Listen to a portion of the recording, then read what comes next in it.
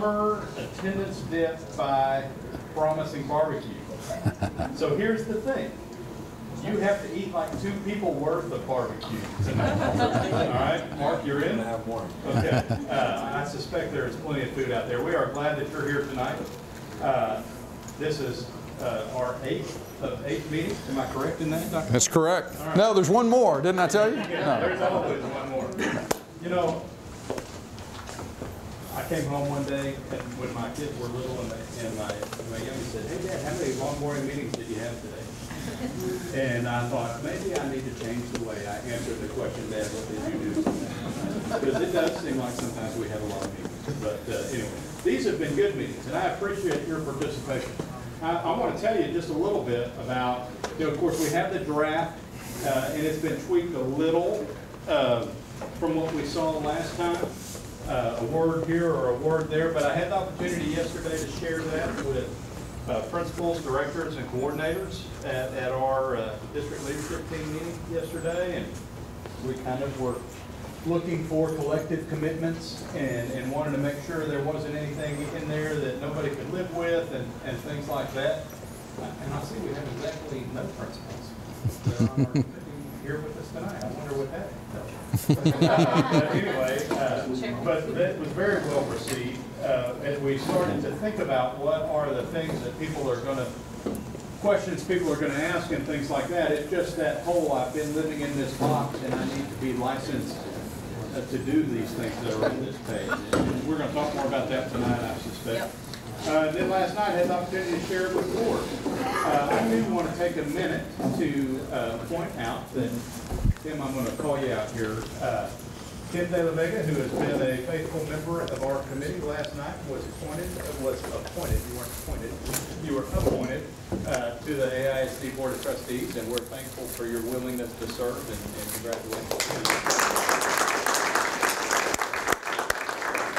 I am- I am thrilled about that. Tim is, is going to join a great team and, and be a wonderful part of our team of that. So, uh, but so, last night, as, as a part of our agenda, I had a strategic planning update on, on the agenda and was able to share with the board kind of the current state of your work. Uh, and they are excited about that. Uh, we have a board workshop scheduled for August the twelfth, where we'll have kind of a final product from this group, where we can, they can then look at their goals as a board and the district goals and, and see what the implications of these strategic priorities and, and belief statements are for their work uh, as, as our board of trustees. So, uh, again, I, I know it's been a grind. It's nice not to have a Chick-fil-A sandwich tonight, but thank you for keeping your nose to the grindstone and doing good work because it, it really already, people are excited about where this is going to go for us in AISD. So a little bit longer than normal That's right. Sorry. That's great. Thank you. We'll get back to my thought. Thank you. It is, uh, I am glad to be here, and it's been, it- this has been great fun for me. Um, in turn, I love having the conversation about schools and school districts and moving forward and thinking about things in, with a new mental model, right? Uh, remember that we're not talking about something else to do in addition to what you've already been doing. We're talking about shifting a way of thinking, shifting your mental model of what good instruction looks like, of what success looks like, of our, our end product. And one of the things that we said at the first or second meeting that really has guided some of the work that we've been doing is that content is not king. Skills are equally important to, or maybe even more important than content. And if you remember last time, I showed you an app. You could take a picture of an algebra problem, and it shows you every step, and it gives you the answer instantaneously. And Tracy has it, right? You have it. You have that app. Don't tell. I won't tell anybody. right. Um, content, uh, because of the day and age we live in, cannot be king. It's got to be skills if we look at what do kids need to be successful in life. And certainly, kids need to know how to add, subtract, multiply, divide, and know history and understand science and all those things. Absolutely. So we're not ignoring content. We're just not saying that it's the only thing. that, that skills are equally, if not more, important than. So as we've done our work, we've been, we've been focusing on this idea of a, of a different way to think, not just trying to do the old things better. We don't need better tutoring. We don't need better intervention. We don't need better detention hall, better in-school suspension. We don't need a better seven period day, right? We need to think differently in terms of what we do. So we develop these beliefs and they, they revolve around deep learning, critical thinking, collaboration, really the idea of relevance and meaning uh, in terms of classrooms, innovation, work ethic uh, are important, cultivation of student strengths and respect, care, and having high expectations for each student is the foundation of learning. There's that coach uh, comment about relationships. We just didn't use the word. Um, so these belief statements, we said early on, should drive our behavior. The difference between all students can learn, which we all believe that, and deep learning involves critical thinking, problem solving, and collaboration is that all students can learn doesn't impact me as the teacher, other than saying, they told me you could learn. You can learn, do it, get after it. I've taught it, learn it. But if in fact the core of the classroom is innovation or critical thinking, collaboration, problem solving, whatever, deep learning involves critical thinking, collaboration, problem solving, then it's my job to come up with collaborative activities, activities where students are problem, solving problems, and activities that really require students to think critically. So we wanted belief statements that drive our behavior, not just the expectations for our students. So we have those.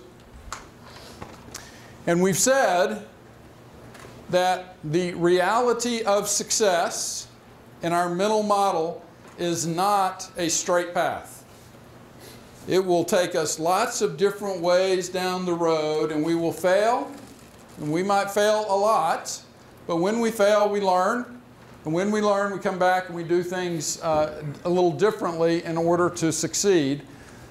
The, the perception and reality, on the perception side, it's easy to define success when you're being driven by a standardized test.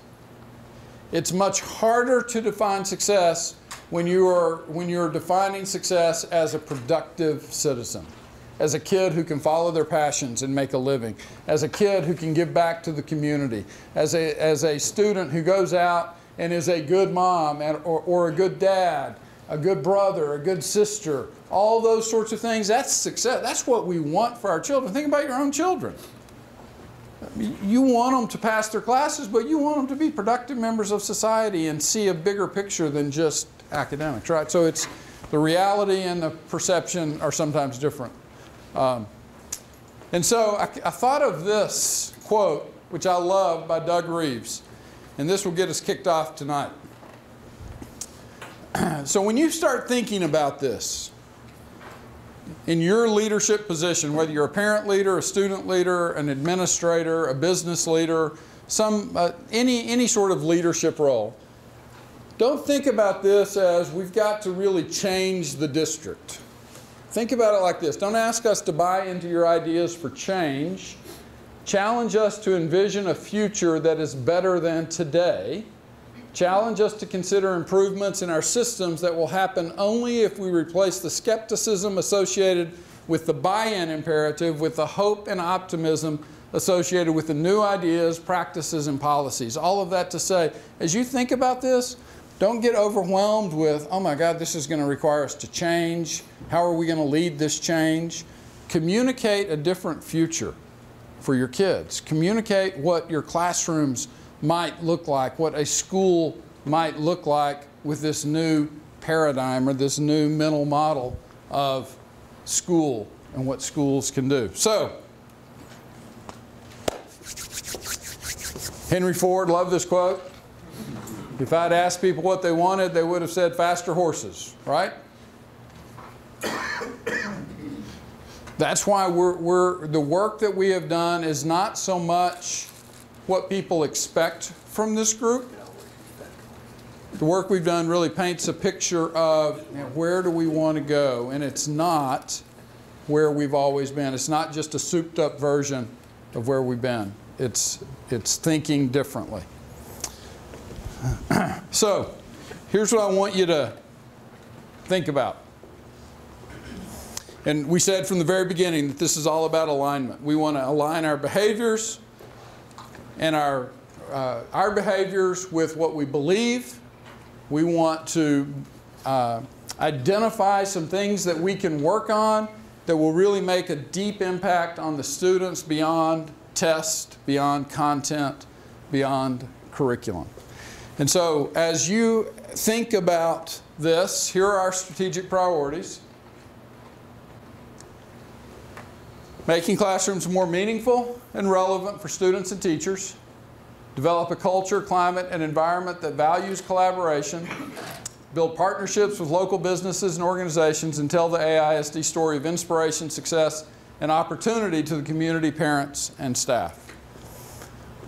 So our first activity tonight, what I, what I want to hear back from you, and I'm going to get you up moving here, um, what I want you to think about is what does this look like for me? I am a parent of three children. If I am going to live these, strategic, these strategic priorities out for me in my role as a parent, what do I do? What's the conversation I have with my teachers, my kids' teachers?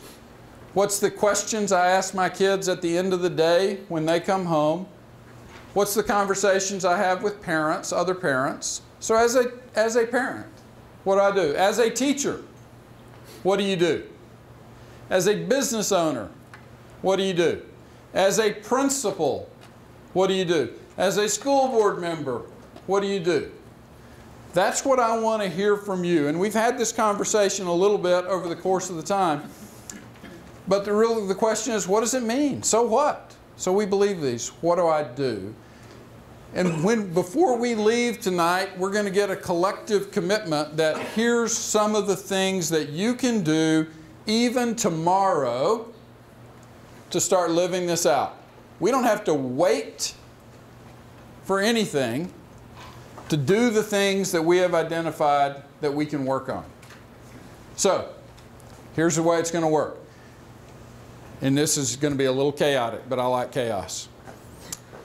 If you're a parent and you want, and maybe you're, you might be three things, right? A teacher, a parent, and a business owner. You're going to have to identify as one of these right now. So, if you identify as a parent mainly in this process, raise your hand. Okay. All right? I want you guys to go get right over there. If you identify as a teacher mainly in this process, come stand right up here. Raise it. Come stand right up here. Parents, teachers, if you're a business owner slash business community type of person, go stand back there. You represent an organization or a business or a, a, a, something that's driving business back there. If you're a community representative, you're a community representative and um, you have a lot of different roles, but you're, you're just here from the community. Come stand right up here. What are you, rest of you people? What are you? So maybe like a, like a counselor of some sort. All right, uh, go with teachers. Go with teachers. Yeah. You got a student? Student? Student. You come right up here. You're on your own. Right here. No, you're not going on your own. I'm just joking. The rest of you are school people, right? Okay? Here's your job. You cannot talk to anybody in this group. You guys can't talk among yourselves. You guys can't talk among yourselves. You guys can't talk among yourselves. I want you to get connected with somebody who is not like you. And here you have one question to answer. What can I do tomorrow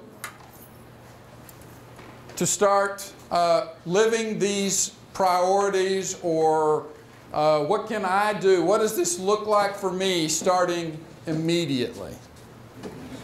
Stand up, go have a conversation with someone who's not like you. Uh, we have a student right up here. Come talk to the student. But get, get with somebody. Have this conversation. What does it look like tomorrow? What does it look like tomorrow for you? Okay. From where you are, don't sit down. Throw, throw some things at me. Everybody listen, because you're going to process these ideas in just a second. Uh, but throw some things at me that you heard. This is what I can do. This is how it impacts me as a parent or as a teacher, as a principal, as a school person, as a business person. This is what I can do starting tomorrow. This is how it impacts me. Throw me some things. Intentional conversation. Intentional conversation, that could work for any anybody of us, right? Intentional conversation about relevance and meaning and skills, okay? Good. Keep going. bring the practical application of business to the classroom so that folks can tie that into what they're learning. From the business community, let's bring it in. How might we do it? Externship, internship, uh, in, working with a teacher to get a, a group of people to come hear the presentations of a group about some landscaping project or architecture project or some business proposal or business plan they put together. Getting a real authentic group put together to listen to that. Love that. Give me some more. I thought of in my role collaborating with campus staff to find out what are the resources you need? What are the things that you really need to make some of these things happen in the classroom to change your culture? She said that too. I love that. So, so a big piece of this is empowering people, right? A big piece of this is empowering teachers to meet the needs of their kids. And what better way to start empowering them by asking them intentionally, what do you need? What have we been doing that doesn't work? What might we change that will work? How can you make this stuff more meaningful for the kids, more relevant for the kids? Where they learn at a deeper level than they've been learning. So empowering teachers to make some decisions. I love that. Keep going. Part of that empowering is encouraging. Absolutely. Specifically for me and my job, is to walk around and say, it's okay to think about it differently and to, to value these things ahead of the things that we have thought were pretty stinking important.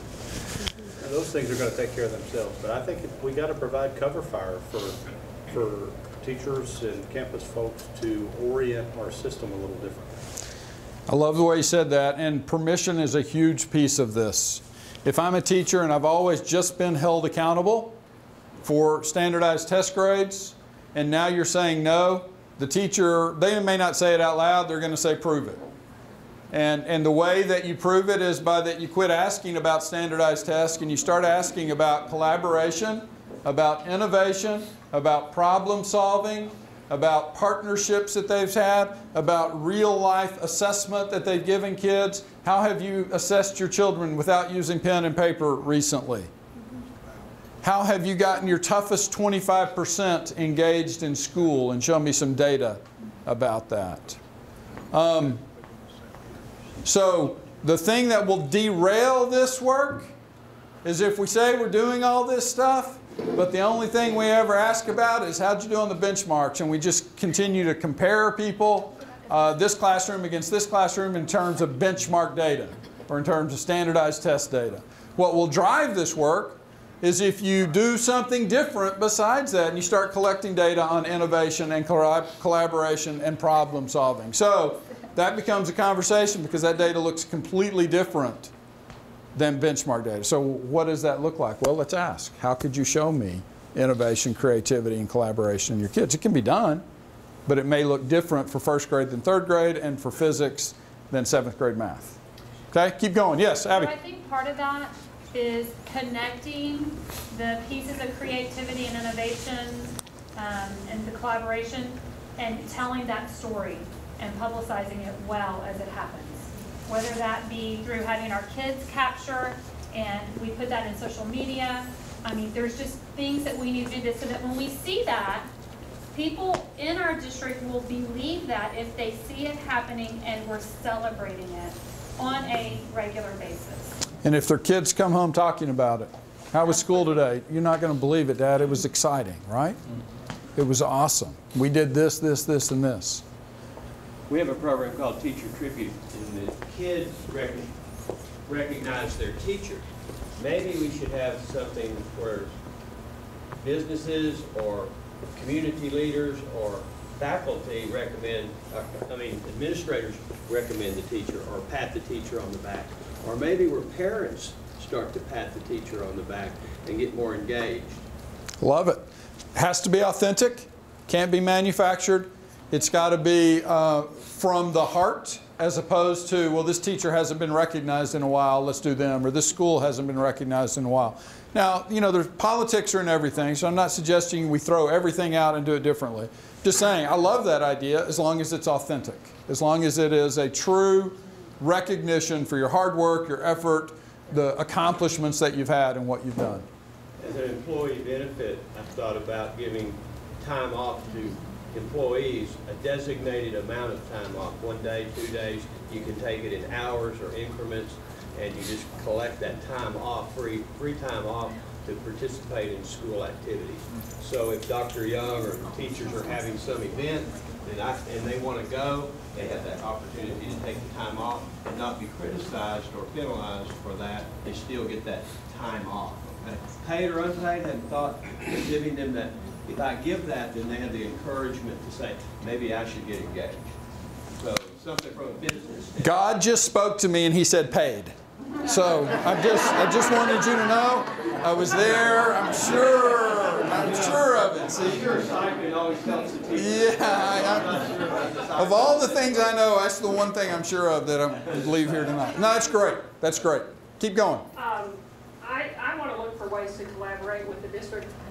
From the first night we met, a lot of the things we've talked about are things that I already teach in my graduate program. And so, you know, I think I can really support this move in this direction, and I want to look for ways to do that.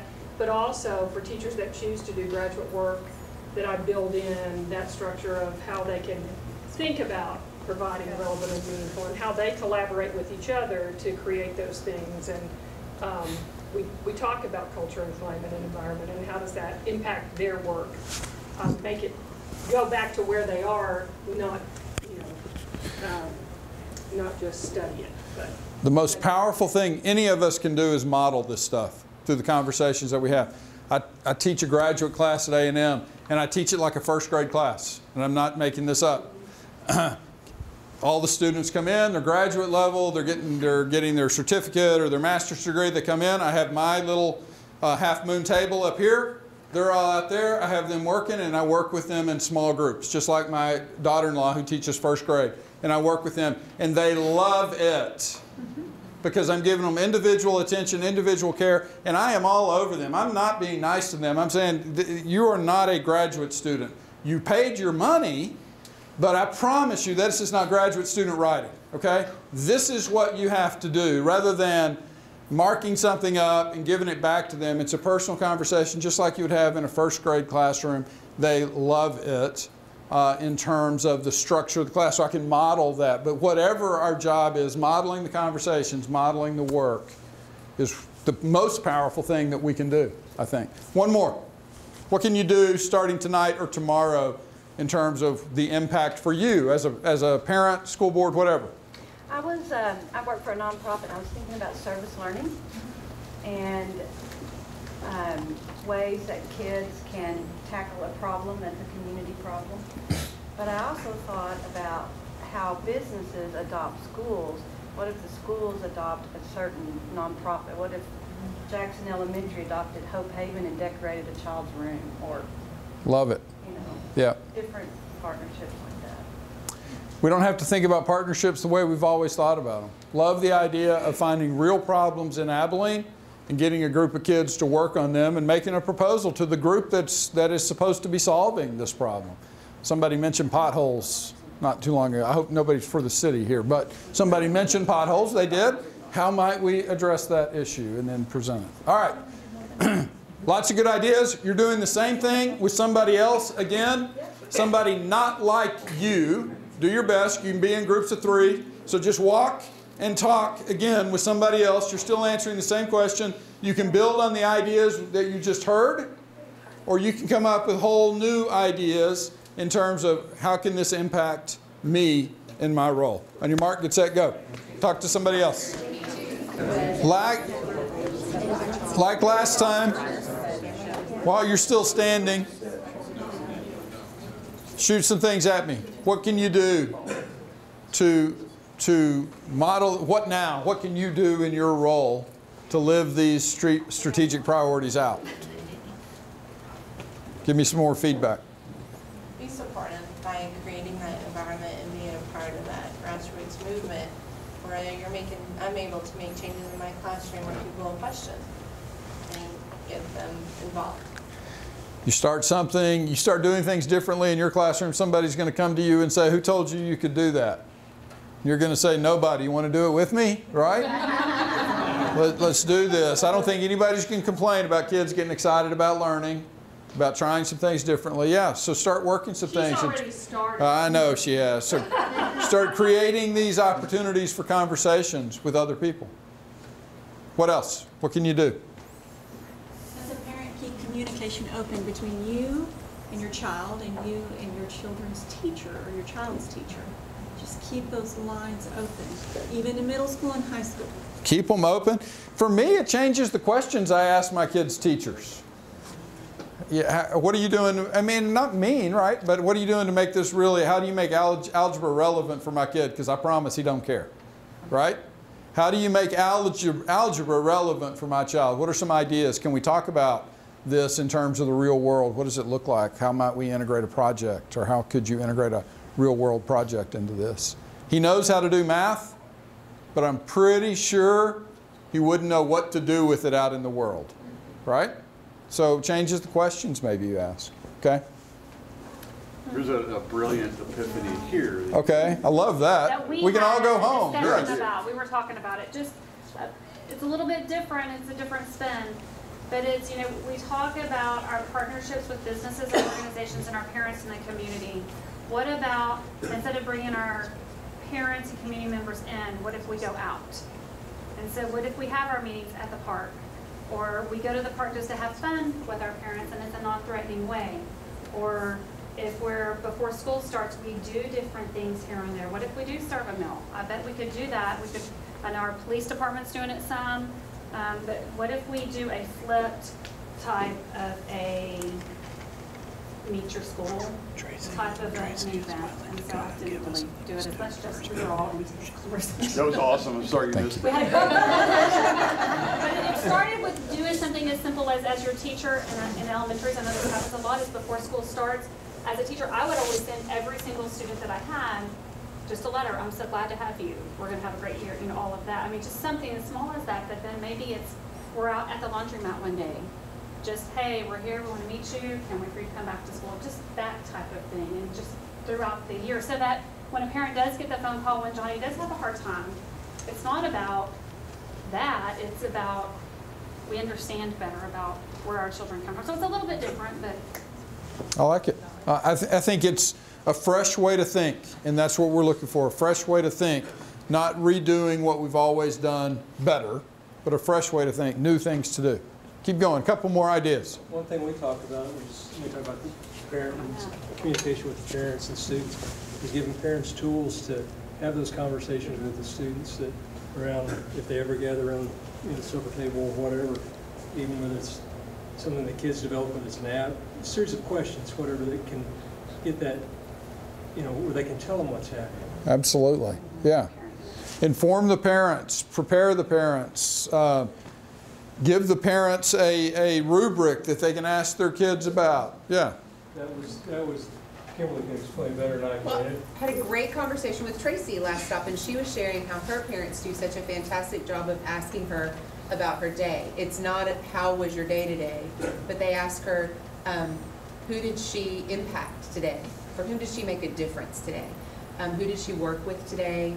Um, what was hard in her schoolwork today? I mean, they, they ask questions that promote that conversation and emphasize to her that they expect those things. They expect things to be challenging. They expect her to work with others, and they expect her to make a difference in other people's lives. So I thought, you know, probably I would venture a guess that our kids most in need don't have parents that are likely to ask those questions.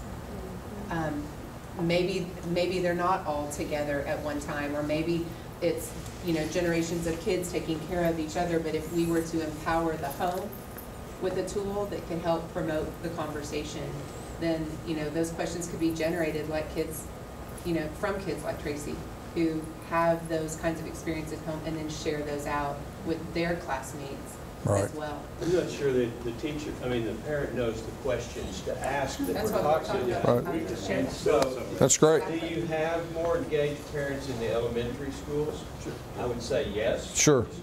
Novice,ly saying yes.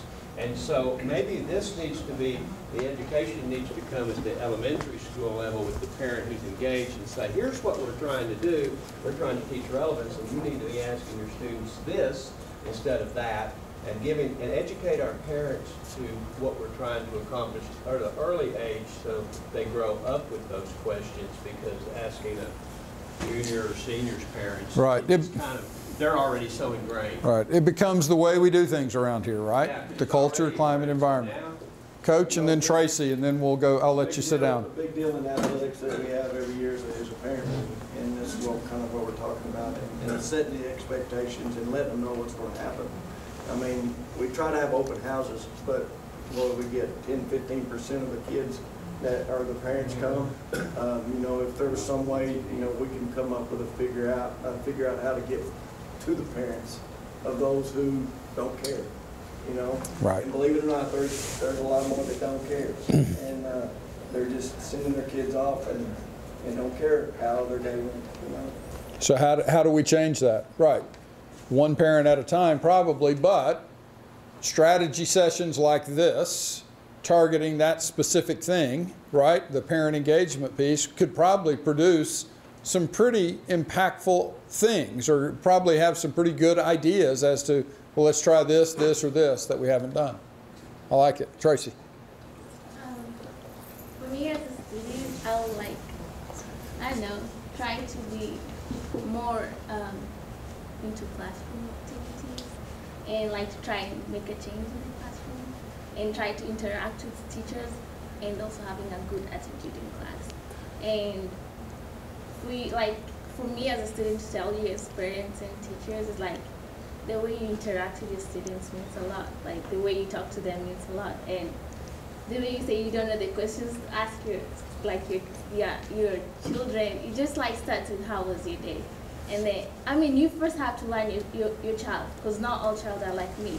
Every every child is different from the other. So maybe some of them don't like to talk about school stuff, and for me I like to talk about school stuff because if my parent doesn't ask me about that, I feel like they're pushing me away about like trying to like you know we, I like attention from my parents. That that's me, but you ask them how was your day and what impact did you make in school how did he help you what challenged you today and you know you just try and interact but don't be so hard on them like don't be over serious with them like try Right. to make jokes in between it and Right, right. So the- don't right. like you know in my time You're not a robot as a parent. Here are not the, the right questions, but here's some ideas as to questions you might ask. And, um, and it's an interesting way to think about maybe collecting some data too, uh, some different data from parents about their kids. And I don't know how that might work, but that, there might be something there. All right, go back and sit down. Y'all are great.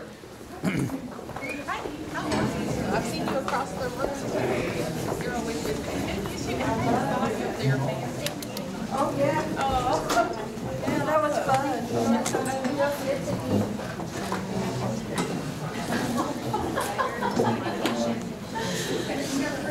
So I want to show you a couple of real life schools that are doing this. These are not mythical schools somewhere.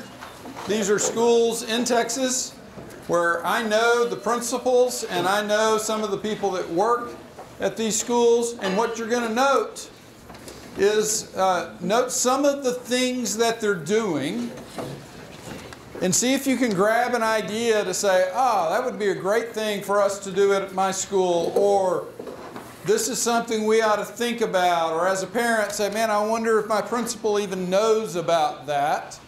So, and if you, you can watch all of these if you go to this website, it's called theprincipalinstitute.org, theprincipalinstitute.org. You go, front and center comes up, principals, and now a principal, uh, messed that up, didn't I? Principals Institute announces 2017 Schools Transforming Learning. Here's a tour of the schools, and I've picked a couple of them I want you to watch. This is Roberts Road Elementary School in Waller, Texas. It's five minutes, it's a little longer than I would like. However, I'm gonna, oh, you're gonna watch it all the way through. I want you to quickly learn some things that they're doing at this campus.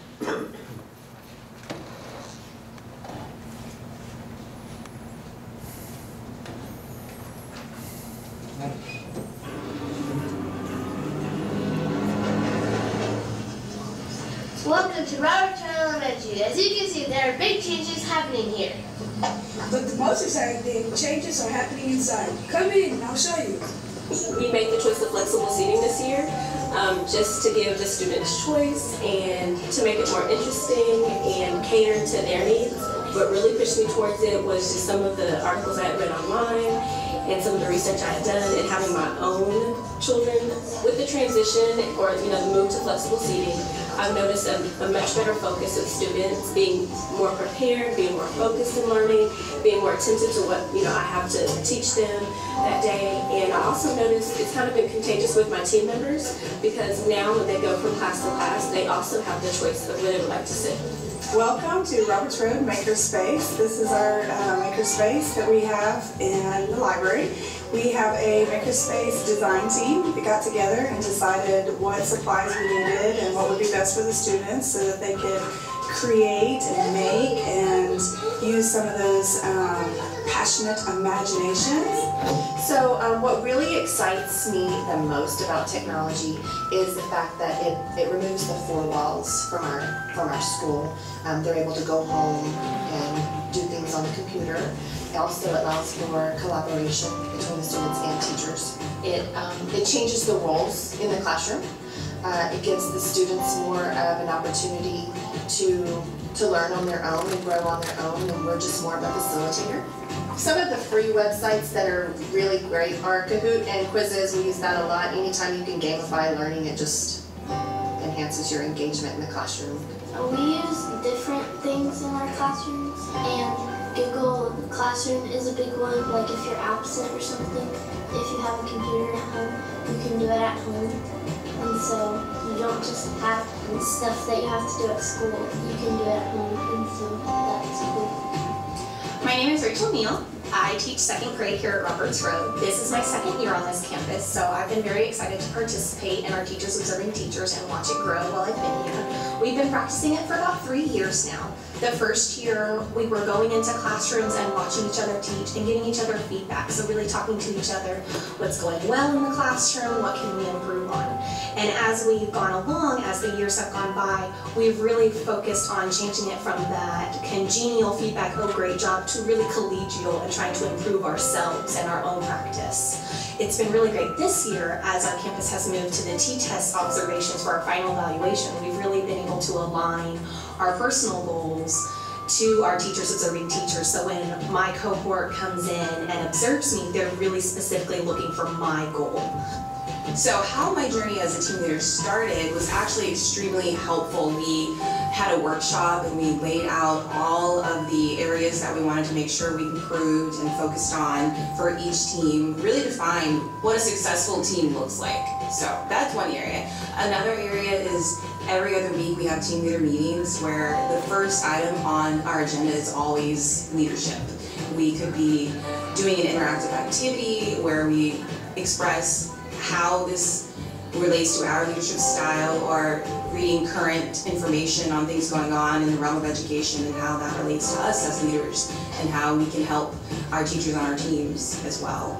Part of our journey here with technology has been to be able to provide staff development for our teachers that's personalized, uh, encouraging them to help take risks. One part is EdCamp. We do that twice a year at the beginning and the middle.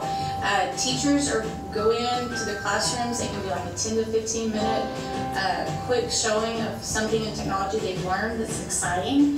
The other part is uh, a bi-weekly event and our teachers sign up to do a what we call a technology sneak peek. And again, they share something they've learned with the staff.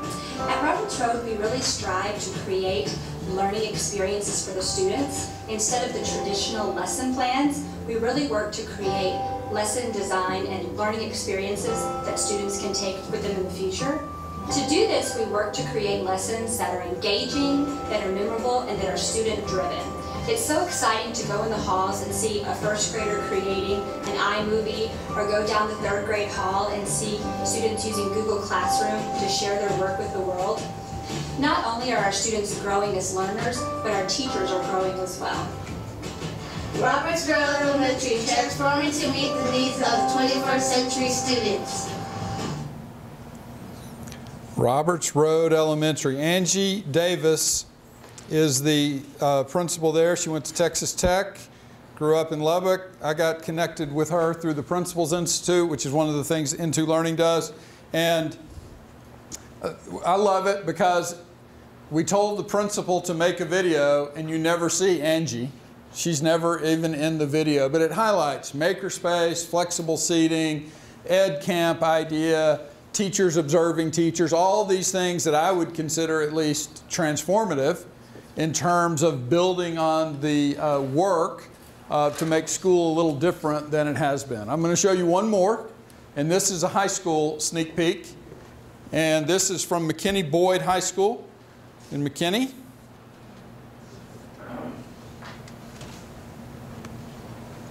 It's just an interesting thing that they're doing in terms of transformation, empowering teachers. Welcome to the School of the Future, McKinney Boyd High School, home of the Broncos. We currently have 2,900 students and are located north of the DFW area. We'd like to take the next few minutes to introduce to you our Design Center. Our Design Center is an area for our teachers to gather, to collaborate, design, and plan engaging lessons in a safe and welcoming environment. With the help of our instructional coaches, our media specialists, and our technology experts on our campus, our teachers are given time once every quarter in order to get together and plan engaging lessons that will better serve our students. The goal of the Design Center is to have less teacher-directed instruction and more discovery, application, and exploration concepts. We are looking for more student-directed learning where students are more involved in the learning process. Because of the Design Center and the concepts that our teachers learn, we are seeing a much more developed PLC process outside of the Design Center as well. Recently, McKinney Boyd High School was certified as a level one high reliability school with the Marzano Institute. Our PLC process, coupled with teacher exploration in the Design Center, has bridged the gap between traditional learning and blended learning of the future. Here we see students implementing technology and student analysis of a given concept. Time is spent designing the lesson from introduction all the way through assessment. Instead of assessment always involving pencil and paper, here you see our students actually testing the theory and developing their own conclusions from data. About two years ago, we also included our language other than English department and also our CTE department. We're reaching out to not only the core areas, but also the elective classes. Here is an example of a Money Matters class that created a Monopoly game based on current real-world assets and prices. The ultimate goal is we want students to be more involved in their learning, more hands-on, elaborate projects with a higher level of questioning and discovery. Here at McKinney Boyd High School, we have built a culture of family, tradition, and relationships. We want our students to not only be a part of the social culture, but also the instructional culture as well. Plans for the future include students becoming part of our design center and our design team, leading students to design curriculum coupled with the knowledge and creativity of our amazing teachers. We believe at McKinney Boyd High School that student engagement is paramount to all that we do. An engaged student is not only productive, but more entrenched into our school culture. Why wouldn't we give teachers the support, time, and resources to do just that? Thank you for taking the time to learn about our path to the future of student learning. For more information, please visit our website and go Broncos!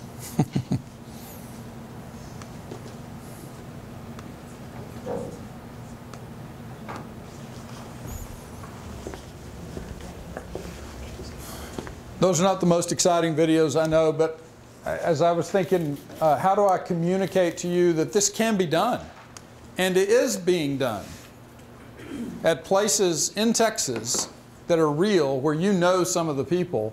Those are just two very brief examples. A design center for teachers What is the principal's job in that? Figuring out how to give teachers the time and to get her experts in technology and instructional design all together at the same time. And it, it's not an English team that goes in, it's a math teacher and an English teacher and a science teacher, and they work together to develop these uh, more elaborate experiences for students, but it's very intentional. It gets to meaning and relevance and other pieces that we're talking about. So, what's something you heard from those two videos that you thought, we might be able to do that?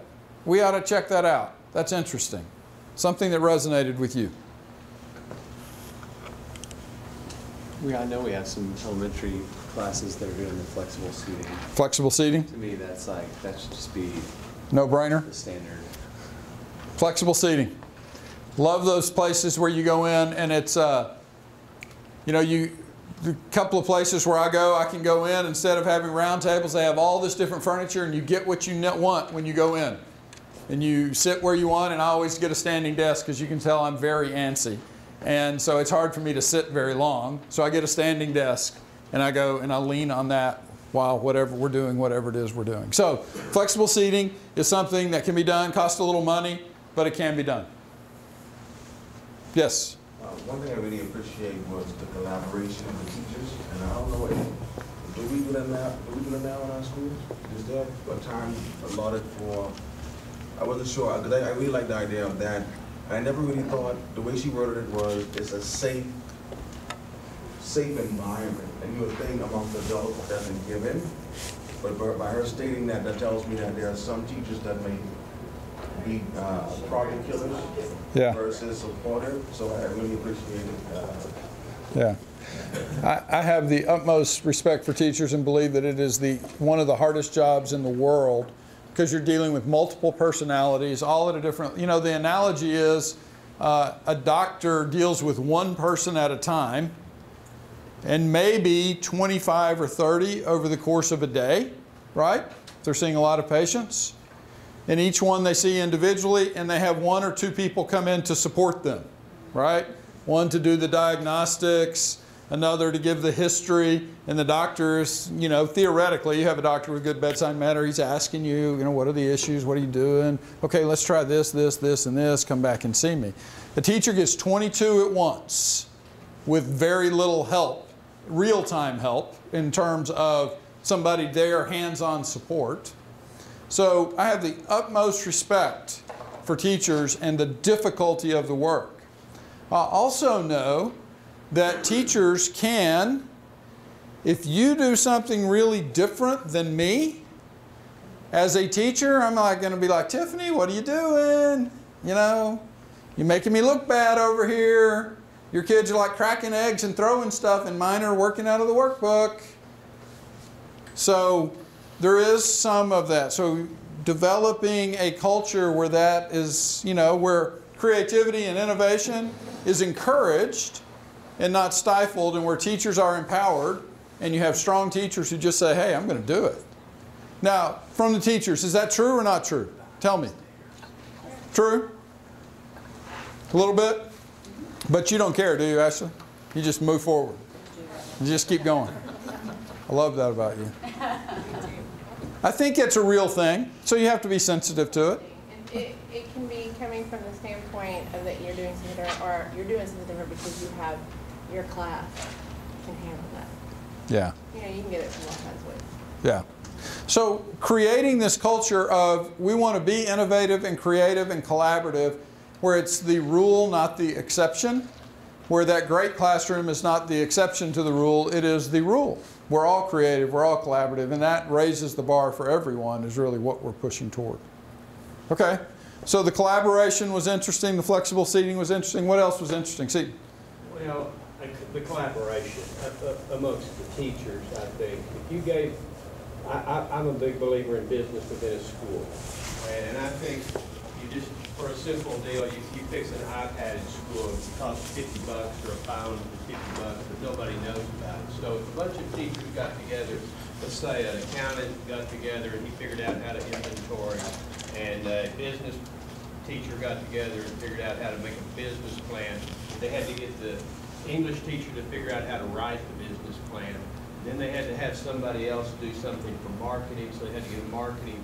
And all the teachers got together and said, okay, how can we promote the sale of an iPhone repair facility in school and let the, and then let the students advertise it and bring people to the school to sell the, the wares. So then they connect with the community and get uh, somebody from that Group, which is a computers company, to Yep.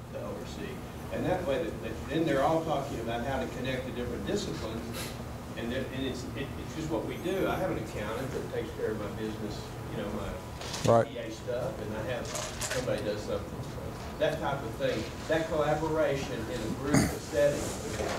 Right.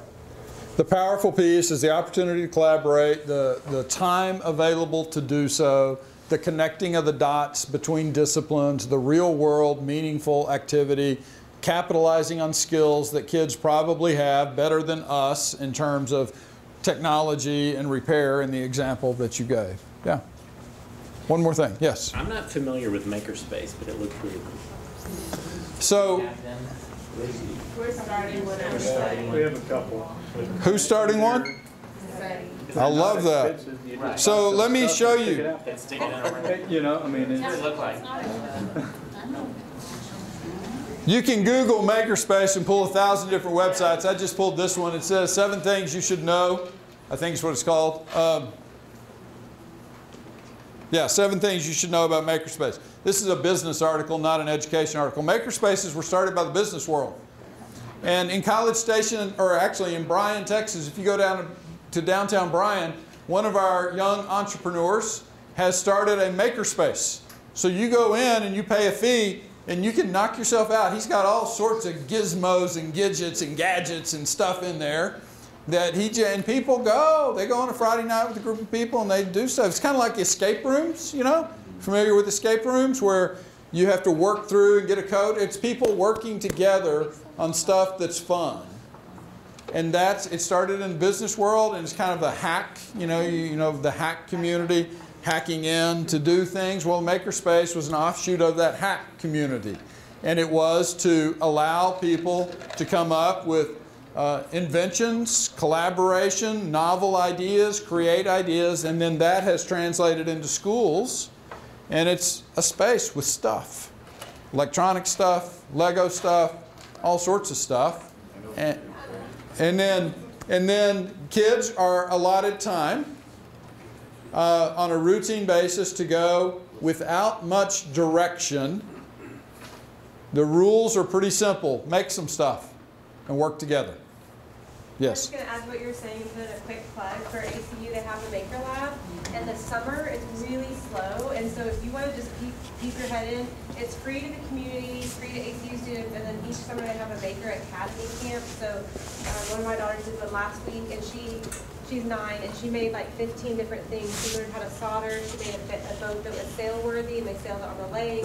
Um, she did elect- uh, she was an electrician and built a lamp that she's using in her room, and I mean, she was just on fire about it. Yeah. Darren Wilson Printers, the 3D printers. He is awesome. Anytime my kids need to build something and I don't have the equipment or the resources or the knowledge to do it, I just call him and say, hey, I'm sending this kid over to you on Tuesday. Can you take care of them? And they do. And my kids come back with these awesome things. I- And they're, they're super Yeah. passionate They're- about sharing their ideas, so They're it's really not like they're, I mean, you can just go in and ask them a million questions, they'll share with you, and then anything that you wanna take pictures of or copy or whatever to do at your school, Darren A good step that is aligned, I think, with a lot of this is creating a makerspace, but you can't just create it. You have to help people understand why it's important and what the significance of it is. So here's what happens in the makerspaces I've seen. The makerspaces become those spaces for GT kids because all the other kids don't have time because they need more math. They need more English. They need more of this. And that is not the idea. The idea is not to create a space for your advantage kids to get more advantage. The idea is to create a space that will be good for all kids. All kids. Yes, the, the ones who are already performing well, absolutely they need to be in there. But the ones who aren't performing well, this is their spot. This is their time. This is where you look at him and say, Man, I didn't know you could do that. how'd you make that clock work?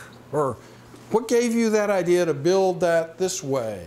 Or that's an interesting design, right? So that's where you learn about kids as you watch them, and you're able to give them uh, some time where they're not uh, being directed all the time. That, uh, aligned with that is such thing as a genius hour. I think we have some of those videos talk about genius hour. Genius, genius hour is not unlike a maker space. It, it's a little less uh, space intensive and more idea intensive, where you allow kids to work on something they want to work on for one hour every day. And it comes from the Google idea, right? Where, or it wasn't Google, it was Accenture, I think, who allowed their employees one day every two weeks to work on something, uh, whatever they wanted to work on. Uh, and the result was that they got all sorts of solutions and ideas for other marketable, or for, to fix problems they had and to, to market new items for the company. And so it was just this genius hour. Work on what you want to work on. Read what you want to read. Write what you develop. You know, and kids are going to develop plays, right? Some kids are going to develop plays. Some kids are going to read. Some kids are going to do something with athletics. They're going to make a better football, or they're going to, you know, make new rules for football game that would be better. And your job as the teacher is to say, no, that's not the rules. No, your job is to say, that's awesome. Let's figure out how we can do that. Let's go play this game and see if it works, right? So it is widening the lanes for kids. All right, what else did you hear? Makerspace, flexible spaces, collaboration. I think I saw two things that I really liked. Number one, in every, both the elementary and the high school, um, we talked about the collaboration of the, the teachers, but in every single scene, the kids were together. Um, and the kids were collaborating and the kids were, you could tell they weren't just sitting together. They were working together on a similar, on, on the same project. Um, so I liked that, that collaboration went throughout. Um, and I think you, you could really tell that there had been some intentional professional development for the teachers.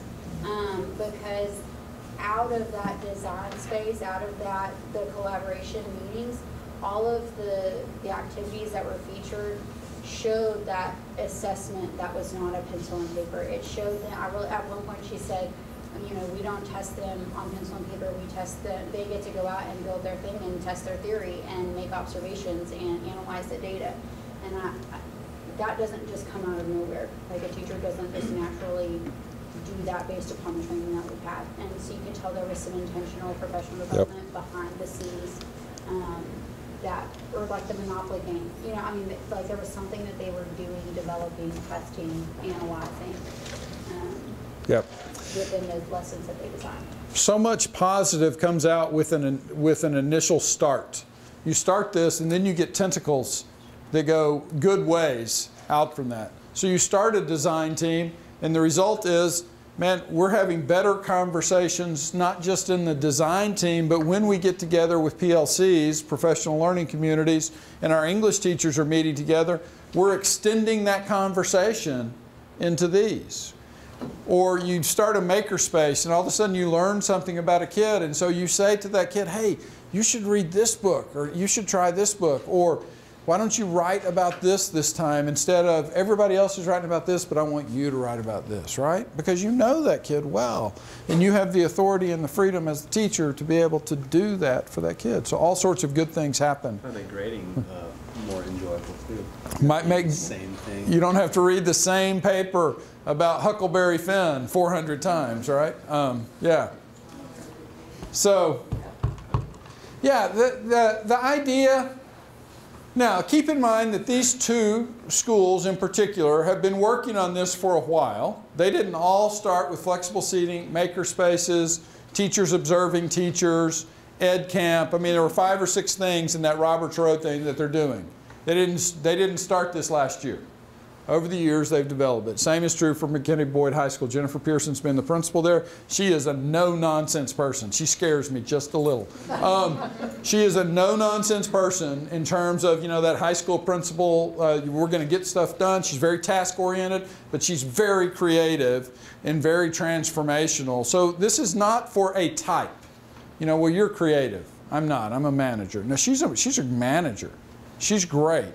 She has taken her management ability and moved it over here to let's do some transformative things in our school. Design teams for teachers.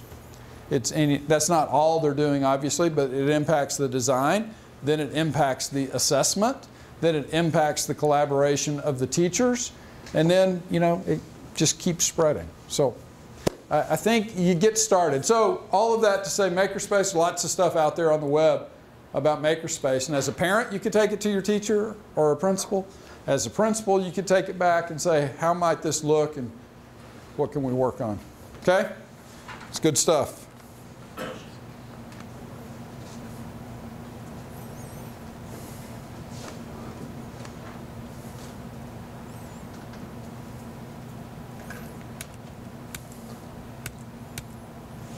Um, so much of what we're talking about are these, these personalized, empowering teachers and students, giving them permission and personalizing. If I had to just take one idea and say, okay, in this new mental model, what's this about?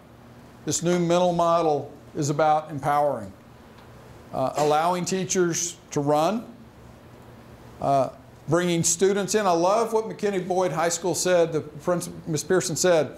She said, we're trying to get the kids not just involved in the social culture of the school, but the instructional culture of the school. So they're including, I think, starting this next year, they're including students on the design team. So when the teachers sit down and say, well, how should we teach this standard? It's teachers talking and then a student can chime in as well and say, well, what if you did it this way? Or what if we looked at it like this? That is bringing the students into the instructional culture. That it's empowering students and it's empowering teachers and it's widening their lane. So if you had to boil it down, and I think empowerment is a huge idea. Uh, I don't want to go any further. We mentioned it earlier, but permission is huge. Permission is not just something you can say as a, as, a, as a principal. I can't just go to a teacher and say, you have permission to be creative, innovative, and I want you to collaborate. Okay? Teacher may or may not know what that means.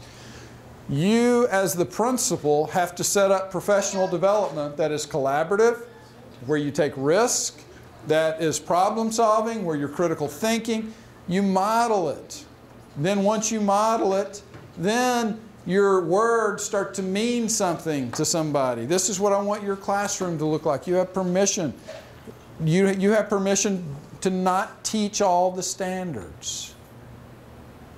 I mean, that blows people away a lot of the times because we're so conditioned to teaching all of the standards that we have. You just can't do it in this model.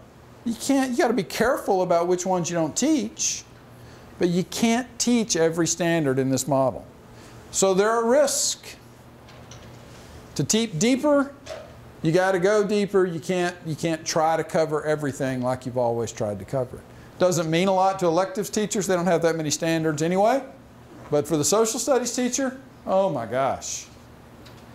If you taught every social studies standard, I think it's in U.S. history, you could spend eight minutes per standard if you were in school every day.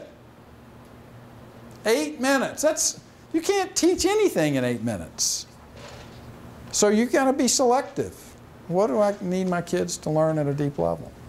So it's, it's giving teachers some um, empowerment. And the last thing is just personalize. you need something different than the rest of the group. What do you need? What are you going to grow on? How are you going to establish your personalized learning plan? How do you model that as a staff? Uh, how do you model that as a principal? What can you do? What kind of professional development can you set up so that people can learn where they are? Um, I think is a powerful piece of this is too. So this empowerment idea is a huge one. we talked about skills a lot. Skills equal to at least content. So as a teacher, I'm teaching skills, not just content. That's a huge shift for many of us. So we want to, um, as we think about that in our, as, in, in our planning, how do, you, how do you weave teaching skills in? Uh, engagement, empowerment, And then I, I just want to camp out on this one for a minute, and that is you, you got to have the courage to try this. And, and um, the, is she going to fall down the middle? She's not going to make it. I kind of thought that when I put it up there, but I put it up there anyway. What you don't see is there's a trampoline right underneath her.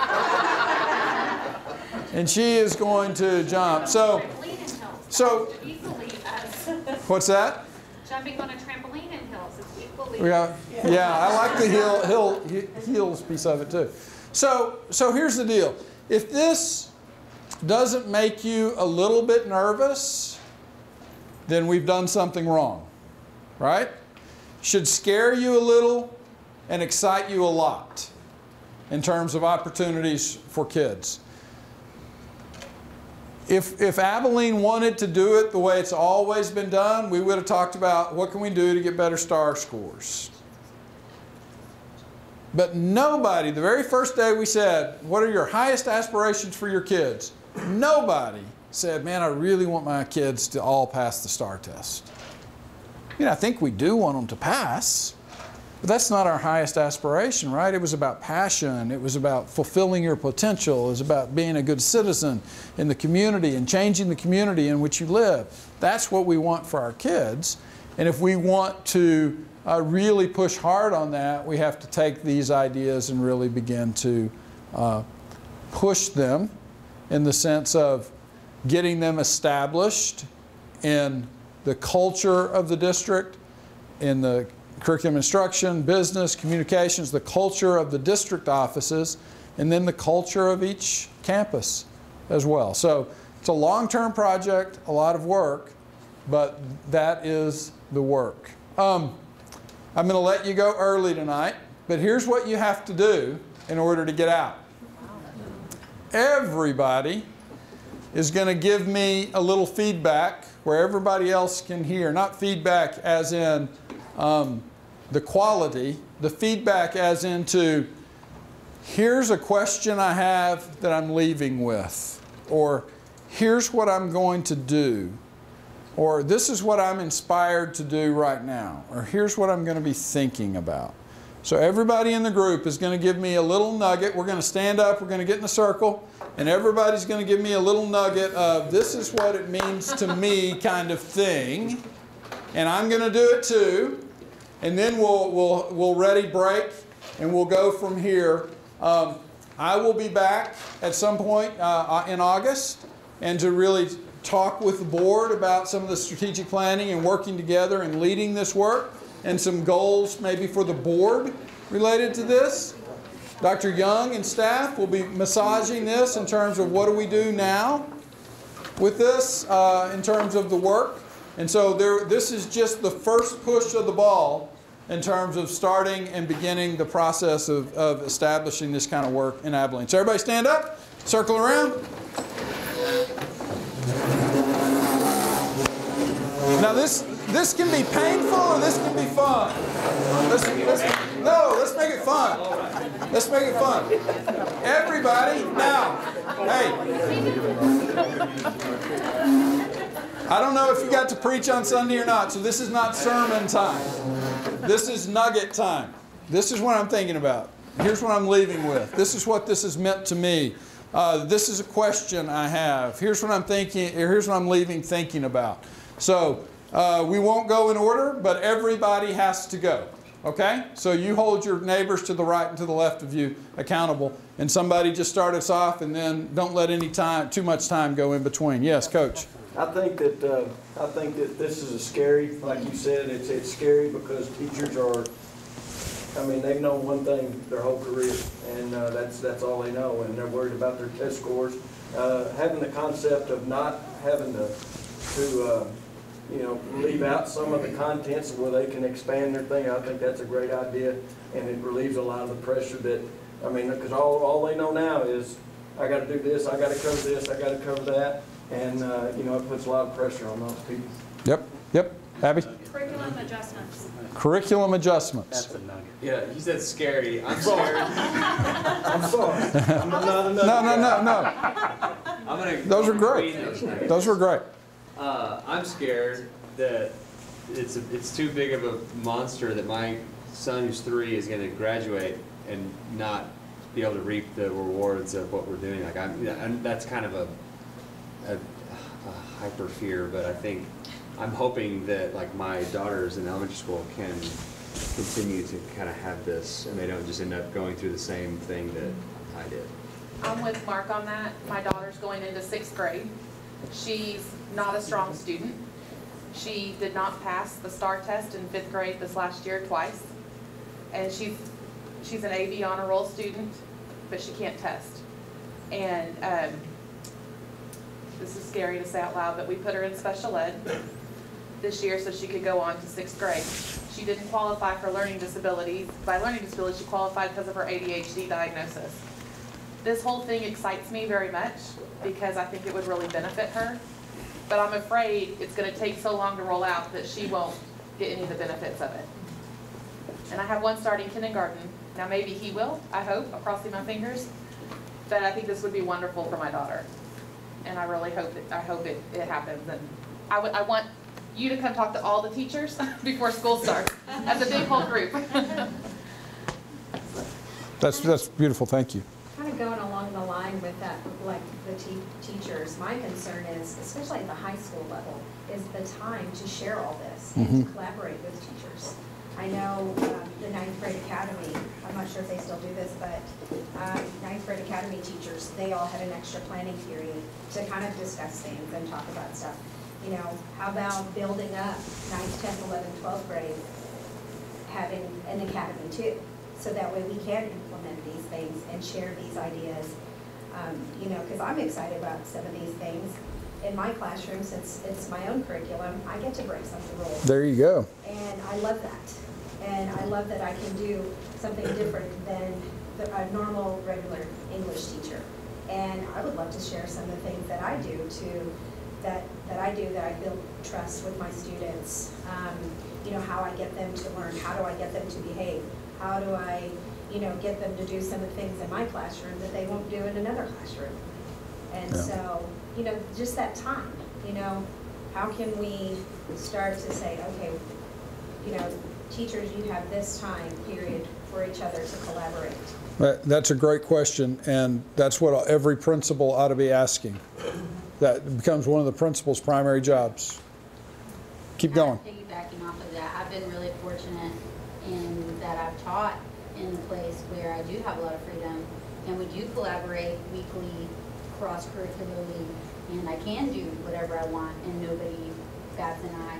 And so I'm really, to me, that's benefited my kids so much, and I, like, I know that it works because I do it every day for several years. And I'm really excited to push that out and to make that bigger and, and to, to, to, for other teachers to get to experience what that kind of freedom is like, to, to see what happens to their kids. Beautiful. I'm gonna go Keep going, Tiffany. too. It's kind of, there's a lot of teachers that are gonna be, there's a lot that aren't gonna be excited, but there's a lot that are, that are ready to come out from underground. And, and, and, and to have that permission, but in my mind, I'm also a fear of, you know, we wanna do it right. Yeah. Right. We wanna do it in such a way that others do wanna do it. Right. So that, that's a little. Yeah. So it's people like you that make me really excited to be here, 'cause this is my sixth day at work at AISD. And, uh, and my, my, I- I brought my kids, my eight and nine-year-old, and moved six hours from where I was to be in a place where this is possible. And um, I'm excited that part of my job is to help find um, supports and structures that promote educational health, that promote teachers feeling comfortable taking the risk, um, knowing that they've got cover fire, like the superintendent says, like here, we're gonna promote your success by helping you learn habits and routines that, that instead of confining you, free you. It's beautiful. It's great. Keep going. I think the, uh, the teachers will take care of themselves, because I think this group will uh, spread the virus that we've had, that we've learned. Uh, So my thought would be communicate with parents. Okay. not as long- That's short, that's long. That's it. Communicate with parents. Words, nobody's Commu- Communicate with parents. Parent communication. Go ahead. I'm excited about our news story, because this is a news story. Yeah, that's great. I, I'm coming away thinking, especially tonight, thinking, how can I go back and explore ways that, as a business owner, I can help out with the educational process? What are we doing in my business that could benefit the kids and their- and what they're learning today? And another note, um, as a husband of a teacher who attended the board meeting last night, the thing that was the most exciting for her was Dr. Young's uh, presentation about what's going on in this room. Beautiful. She was genuinely excited. I'd been telling her about it, she didn't believe me, but she believed That's, that's great. Keep going. So I have four children in the district um, who feel like they spend seven hours a day kind of checking off the box, like I'm gonna go, sit there, do my thing. And then when I get home and on the weekends and stuff, we've been trying to like empower our kids to learn and research on their own, and they love doing that, and they're engaged and excited about it. But I'm feeling more excited about being proactive with, with the teachers. Like, we've just tried to be really encouraging and thankful Sure. to our teachers, but maybe saying, hey, how can my, my child or this group of students um, help with the curriculum? And I think that would really excite my Yep. Love it. Gail? I think, uh, uh, just kind of scary, like has been said by, by others, just because of, you know, what we've done for the last 10, 20, 30 years that I've been a part of on the other side. And so it- it's hard to change, but you have to step back and say it's 2017. And I think about, I have six grandchildren, and, and I want them to have the experiences like I saw on the screen, not the experiences that I had, and even the experiences that I had as a, as an administrator, as a, as a building principal. So, you know, it's time to, it's time to move on. That's great. I'm Keep going. About how we can provide that safety net that gives the teachers who, who aren't already as, you know, strong and courageous as some of the teachers we have in this room, um, to be brave enough to do something. Just step out. Yep. Love it. Keep going. I'm excited about a group of upper administrators who are open to this concept, because I think in some districts they wouldn't be. And, um, you know, I'm just really grateful that they're really willing to take a scary step. And as you said last week, not hundred percent of the teachers are engaged in doing what we want them to do, but to go with that thirty percent that's ready and let, and let them. Right. Um, that's, they're taking a big risk. Um, not just at the teacher level, but the upper administrative level. Well, I'm just That's grateful. true. They're willing to put on high heels and jump across. That's right. What's that chasm? Not repelling, Mr. Rhodes. Keep going. Keep going. Keep I- I agree with Cheryl, just excited about uh, giving the teachers a a shoulder fire that, that we need to give them and allowing them just to be, uh, you know, focused on the, on the learners and just, uh, you know, let, let the kids just learn.